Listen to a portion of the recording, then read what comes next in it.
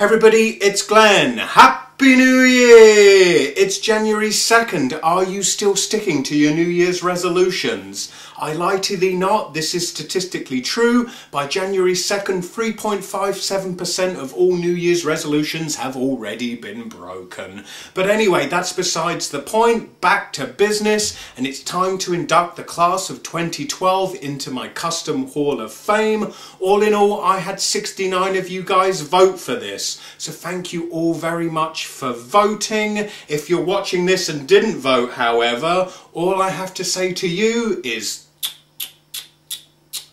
Anyway, with 69 of you voting, that meant 1,035 points were up for grabs, and my customs fought over those points like cats and dogs. Anyway, without further ado, I present to you the class of 2012. Kicking it off at number 5 with 49 points is the Blob.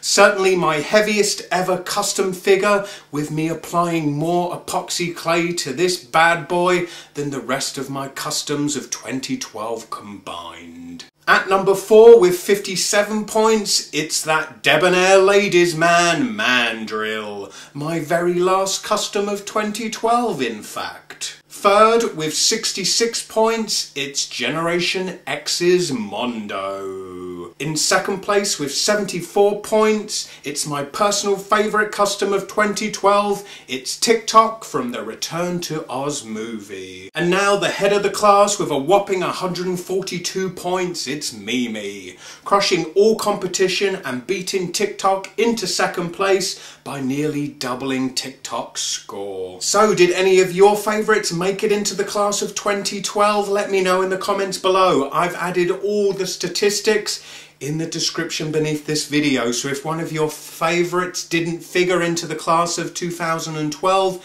you can find out how it did in the voting just by looking down there. Anyway, this is looking backwards at 2012. Let's think about 2013 and I hope to have a successful and creative year customizing. You may have seen I've started broadcasting live customizing on YouTube so you can witness me experiencing the various highs and lows of this craft we call customizing. Anyway, please comment, rate, share and subscribe.